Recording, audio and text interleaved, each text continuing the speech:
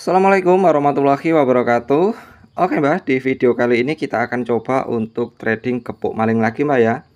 Ini tadi si mbak sudah e, ngomong panjang lebar ya sudah entry juga Tapi malah e, lupa mbak apa belum direkam. Jadi untung saja cepat konangan mbak Jadi langsung si mbak apa namanya ulangin lagi untuk videonya.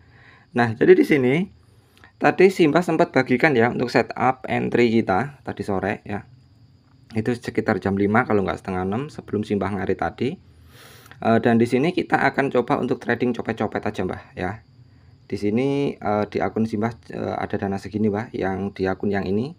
Karena yang di akun satunya lagi untuk uh, trading tadi ya yang scalping jangka menengah.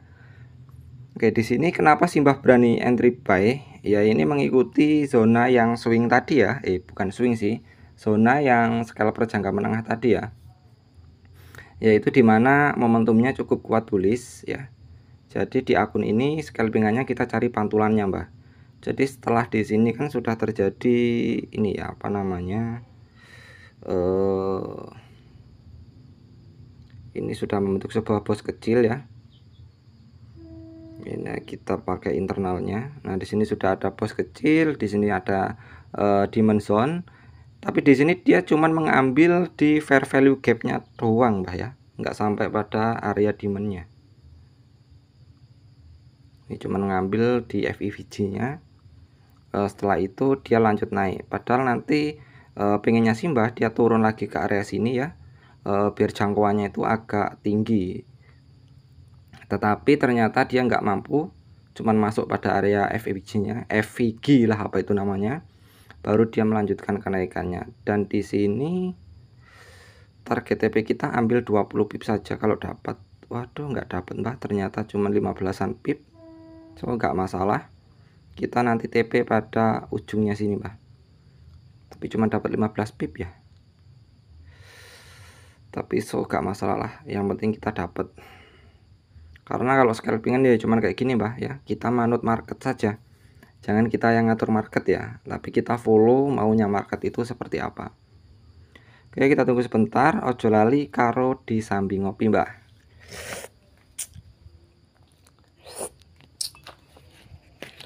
Ini semoga saja dia masih mau turun. Kalau dia turun nanti kita akan buy lagi. Mana tadi korekku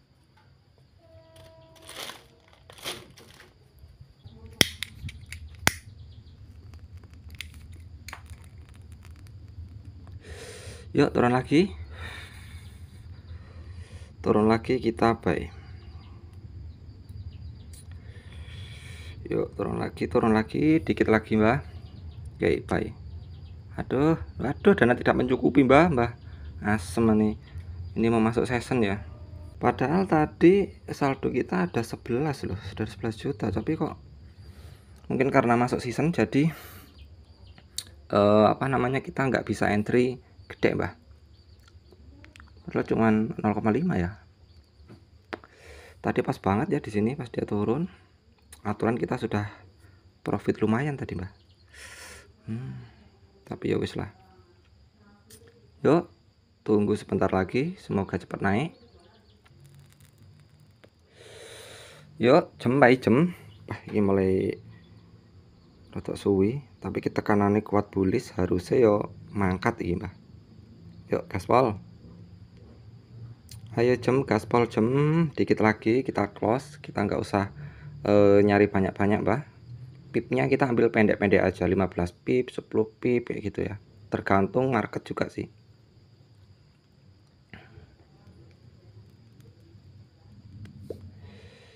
Yuk jam nah ini ngegas nih.